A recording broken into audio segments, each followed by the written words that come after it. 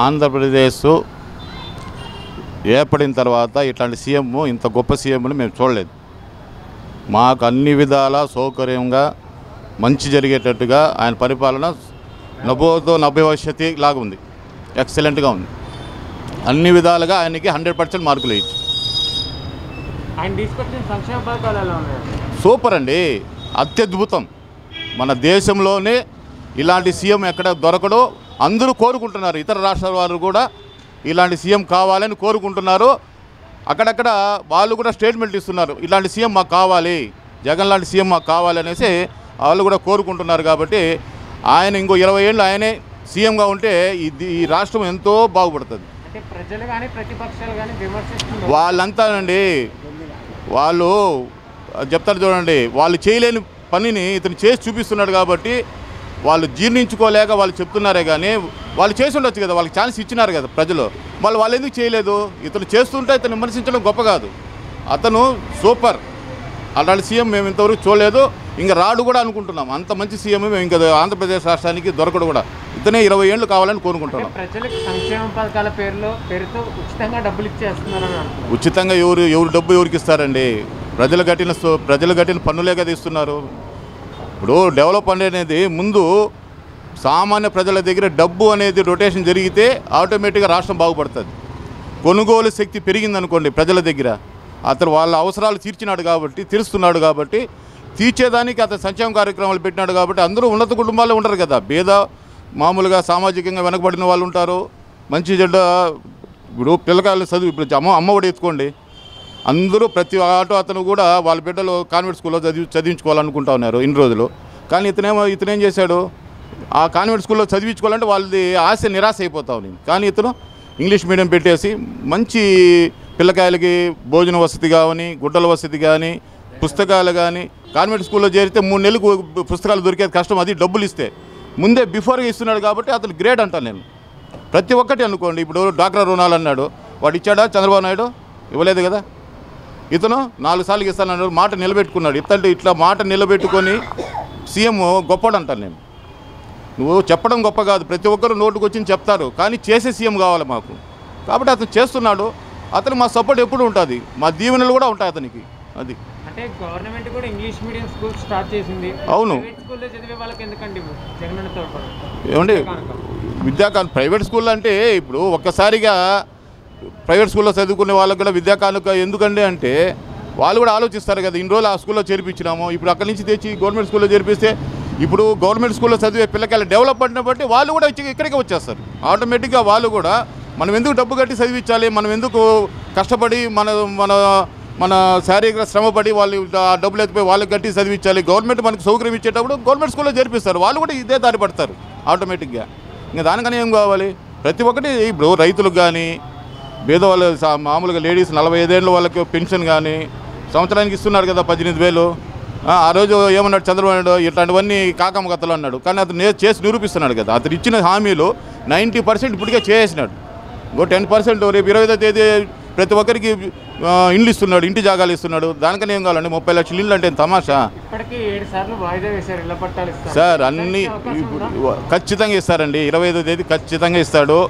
Next ఏం రా అంటే వీళ్ళు చేసే కారణాల వల్లే కదా ఈ ప్రతిపక్ష పార్టీలకి మనసొప్పగా ఎత్తుకొని పోయి కేసులు వేస్తే అతని బట్టి ఏం చేస్తాడండి?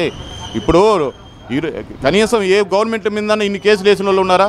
దాని తగ్గట్టు ఈ మామూలుగా న్యాయస్థానాలు కూడా అదే విధంగా తయారైనాయి. కానీ ఇప్పుడిప్పుడు కుదురుకుంటున్నాయి న్యాయస్థానాలు. వాళ్ళే దారికి వస్తారు. ప్రజా సంక్షేమ కార్యక్రమాలు మంచి సీఎంని ఎవరు కాదనుకోలేరు కదా. ప్రజల అభిమానం ఉంది అతనికి. అతనే సీఎం. హండ్రెడ్ పర్సెంట్ గెలుస్తారండి. హండ్రెడ్ పర్సెంట్ గెలుస్తుంది.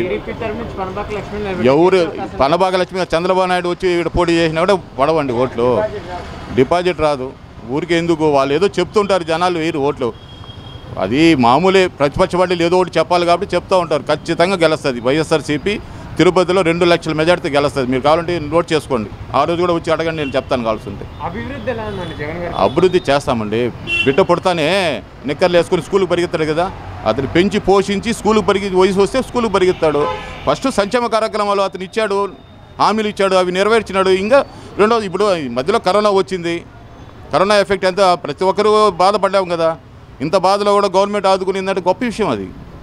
ఏం మన రాష్ట్రంలో కరోనాని ఎదిరి కరోనాని ఢూకొట్టే స్థాయిలో మనము పనిచేశాడు సీఎం. కాబట్టి గొప్పగా ఉండదు అతని సర్వీసు. ఇప్పుడు కరోనా ఇంత ఇంత విజృంభణలో కూడా కరోనాను తట్టుకొని ప్రతి ఒక్కరికి అది గవర్నమెంట్ ఇచ్చిందో సెంట్రల్ గవర్నమెంట్ ఇచ్చిందో ఒకసారి వాళ్ళు భీమ్ ఇచ్చారు అన్ని సౌకర్యాలు ఇచ్చినారు కదా. అన్నీ ఆటోమేటిక్గా డెవలప్ అవుతాయి సార్. డెవలప్మెంట్ అనేది ఏంది? మనిషికి డెవలప్మెంట్ లేకపోతే ఊరిని డెవలప్మెంట్ ఏం చేసేది సార్? మనిషి డెవలప్మెంట్ లేదు ఊరి తర్వాత. ముందు బువ్వ నోట్లో పోయేది చూసుకుంటారు జనాలు. తర్వాత డెవలప్మెంట్ రోడ్డులో నడిచి నడుస్తాడు. బువ్వ లేకపోతే పడిపోతాడు అంతే. సూపర్ అండి. దేశ చరి ప్రపంచ చరిత్రలోనే సూపర్. వాలంటీర్ వ్యవస్థ. రికార్డ్ బ్రేక్ ప్రతి ఒక్క పెన్షన్ పొద్దున్న ఐదు గంటలకు తీసుకోవడం అంటే నేను నేను చరిత్రలో ఊహించింది అది. ముస్లిం మొత్తగా పోయేసి గంటల తరబడి క్యూలో నిలబడుకొని ఏమే వాళ్ళు ఆడ వెయిట్ చేసుకుంటూ వాళ్ళు కళ్ళు తిరిగి పడిపోయిన ఎంతమంది? ఇదే చంద్రబాబు నాయుడు గవర్నమెంట్లో. ఈరోజు పొద్దున్న ఐదు గంటలకి వచ్చి నిద్ర లేపిస్తున్నారంటే ప్రపంచ చరిత్రలోనే సువర్ణాధ్యాయం ఇది. వాలంటరీ వ్యవస్థ ప్రపంచంలో ఎవరు పెట్టలేదు? మన జగన్ గారు పెట్టినారు. గొప్ప విషయం అది. పది తరాలు ఆ వాలంటరీ వ్యవస్థ ఉన్నంత వరకు జగన్ తెలుసుకుంటారు అభివృద్ధి కేంద్రీకరణ అని చెప్పి మూడు రాజధానులు పెడతా ఉన్నాను దానిపై మీ స్పందన? Sir super sir. ఒక ఇల్లు డెవలప్ ఊరు బాగుపడుతుంది కదా? ఒక ఇల్లు డెవలప్మెంట్ అయితే ఊరు బాగుపడిపోతుందా? ప్రతి ఒక్కరు డెవలప్ అయితే కూడా ఊరు బాగుపడుతుంది రాష్ట్రం బాగుపడుతుంది. అవును సార్. నీ దగ్గర డబ్బు లేదు జోబులో వంద రూపాయలు ఉంది అనుకోండి యాభై రూపాయలు పెట్టి ఏదైనా కొనగలుగుతావు.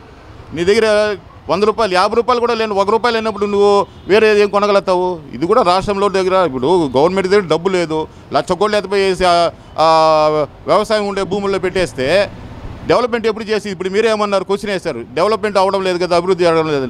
లక్ష కోట్లు ఎత్తిపోయి ఆడ పెట్టేదానికన్నా మూడు చోట్ల ఇప్పుడు ఆల్రెడీ డెవలప్మెంట్ అయిపోయింది. ఆ డబ్బు ఎత్తుకొని ఇంకో సంక్షేమ కార్యక్రమాలు కానీ ఇంకో డెవలప్మెంట్ కూడా పెట్టుకుంటున్నాం అనుకోండి ఇప్పుడు పోలవరమే ఉంది. పోలవరమే ఉంది. అట్లాంటి ఇంకో- అట్లాంటి డ్యామ్ కడితే మనకు మంచిదే కదా. ఇప్పుడు వాళ్ళు గవర్నమెంట్ సెంట్రల్ గవర్నమెంట్ ఇస్తాదో లేదో దేవుడికి ఎరుకాది మొన్న కూడా కొరి వేశారు. ఇప్పుడు మళ్ళీ వారి దారికి వచ్చి ఏదో ఇస్తామంటున్నారు.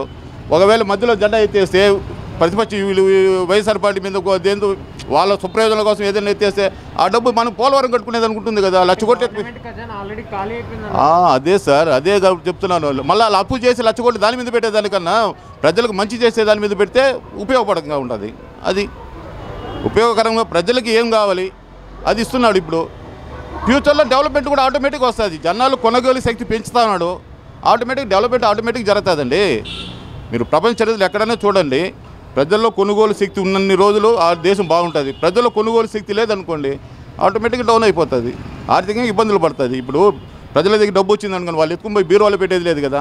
ఆ డబ్బును మళ్ళీ ఏదో దానికి కొనుక్కుంటారు ఏదో దానికి ఉపయోగపడిస్తారు అది మళ్ళీ రన్నింగ్ అవుతుంది. మొన్న తెలంగాణలో బీజేపీ గెలిచింది. ఉలుపు చాటుకుంది ఇక్కడ కూడా గెలిచే అవకాశం ఉందా? ఛాన్స్ ఇస్తారా అని చెప్పి. బీజేపీ సార్ తెలంగాణలో అంటే అక్కడ గవర్నమెంట్ గవర్నమెంట్ మీద కొద్దిగా వ్యతిరేకత ఉండింది దాని తగ్గట్టు కాంగ్రెస్ వీక్ అయిపోయింది. కాంగ్రెస్ పూర్తిగా పడిపోయింది ఆడ. వాళ్ళ వాళ్ళ దీని మీద. కాబట్టి ఏదో అదృష్టం బట్టి రెండు వేల ఓటుతో ఆయన గెలిచినాడు. ఆ ఒక చోట గెలిచినది ఆల్రెడీ బీజేపీ తెలంగాణలో కొద్దిగా అంతో ఇంతో గొప్ప ఉంది. ఆంధ్రాలో లేదు కదా ఫోర్ పర్సెంట్ ఫైవ్ పర్సెంట్ ఉంది. అది ఎప్పుడు డెవలప్ అయ్యేది ఫిఫ్టీ పర్సెంట్కి? అది అయ్యే ప్రసక్తే లేదు. ఇక్కడ ప్రభుత్వం పైన వ్యతిరేకత లేదా? సార్ తాగుబోతుల దగ్గర కొద్దిగా ఉంది సార్. ఎందుకంటే రేట్లు పెంచేసినాడు చీప్ లెక్కలు అమ్ముతున్నారు దాని మీద కొద్దిగా ఉంది గవర్నమెంట్ పైన.